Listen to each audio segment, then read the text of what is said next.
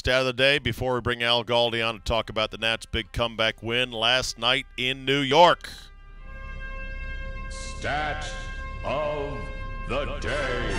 Down 6 1 after 7. Nats come back to win in thrilling fashion. Last time that they won after trailing by five or more after seven innings, never since moving from Montreal. They were 0 and 236 in that situation before last night. Behold your stat of the day.